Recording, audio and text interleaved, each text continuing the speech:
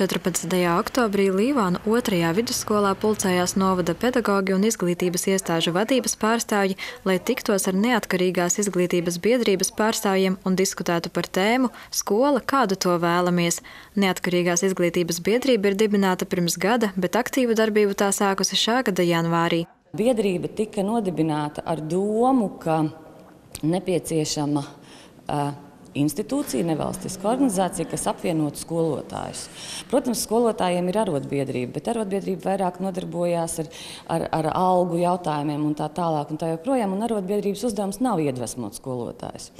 Un Latvijas skolotājiem vajag iedvesmošanu šobrīd, jo Latvijas skolotājs jūtās jāatzīst diezgan nomākts, diezgan pārstrādājies. Un, uh, vientuļš, pat tādā ziņā, ka ne tikai atrauc no citas sabiedrības daļas, bet skolotāji pat zināmā mērā jūtas, kā mums diskusijās teica, sanaidoti savā starpā. To, ka skolotājiem ir nepieciešama iedvesmošana un pozitīvisma lādiņš, atzīst arī Līvānu pedagoģi. Es domāju par to, kāpēc mūsdienu skolotāji varbūt pārāk maz uzdrīkstas. Kāpēc viņi tik maz uzdrīkstas būt priecīgi? E, kāpēc viņi tik maz uzdrīkstas par sevi runāt?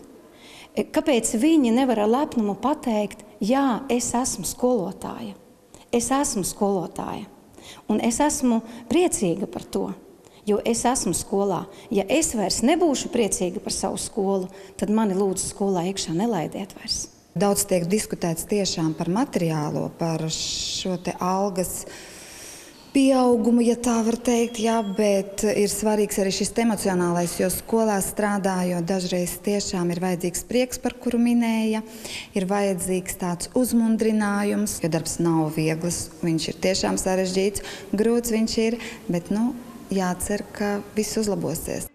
Neatkarīgās izglītības biedrības mērķis ir celt skolotāja pašapziņu un celt skolotāja profesijas prestižu Latvijā, nevaimanājot un nesakot, cik viss ir slikti, bet apzinoties, kas jau ir labs un ko paši pedagogi var darīt, lai izglītības sistēma kļūtu labāka.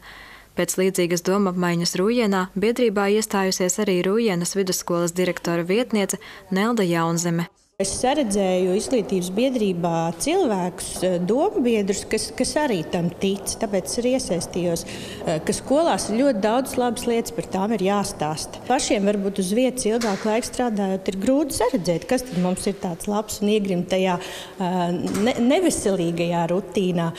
Bet, bet mēs kopā esam tiešām jau arī daudz, daudz, daudz secinājuši par to, cik labi mēs darām un ka mēs varam dalīties savā pieredzē ar citiem citiem. Domapmaiņas par nākotnes izglītības sistēmu līdz šim jau notikušas vairākās Latvijas pilsētās - Limbažos, Rūjienā, Aizkroklē un Kuldīgā, kā arī ārzemēs - Stokholmā, kur neatkarīgā izglītības biedrība tikās ar Stokholmas latviešu skolas pedagogiem. Biedrības pārstāvju vēlas apvienot izglītības profesionāļus un atbalstītājus pārmaiņu īstenošanai izglītības sistēmā.